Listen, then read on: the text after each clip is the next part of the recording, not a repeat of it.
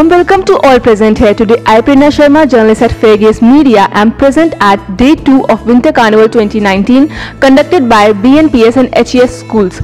And I'm privileged to sit beside Miss Arti ma'am who is principal of Happy English School. I welcome you ma'am. Thank you. So ma'am, uh, you have conducted such a event. It's a different kind of event where students have uh, having fun and it's fun and frolic all in the atmosphere. So what approach did you have in mind for conducting such an event? Um, see, there is lot of fun and frolic, but the main aim is not just fun, fun and frolic. Children learn best when they are learning experientially. So, um, in conducting such an event, all the children and teachers come together.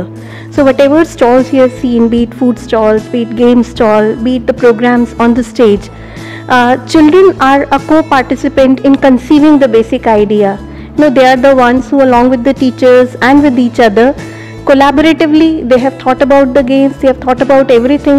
So, it's a kind of an effort to make sure that all the children get their chance of experiencing the responsibility, experiencing the responsibility as well as the leadership skills.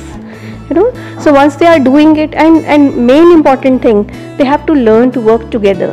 So this gives them opportunity of learning together. That's the main aim. So, ma'am, uh, for conducting such a big event, it's a two-day event. There must be so many preparations that, as a principal, you must have done. So, just share some of them.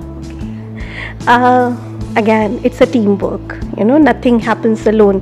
So, if you have to teach children teamwork and collaborative learning, you yourself need to have that only. Fine.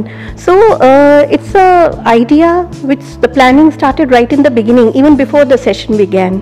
So, uh, a lot of uh, you know group discussions were held around what kind of an event it should be, and what would be the responsibilities shared by different individuals. So there were lots of brainstorming sessions. There a lot of suggestions were coming from teachers' side and other people's side.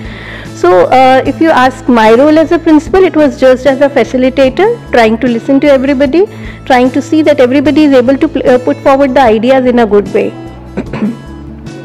Even at the stage of uh, you know when the actually the month before and and immediately this month, again the the responsibility and the task I was involved in was having everybody on board.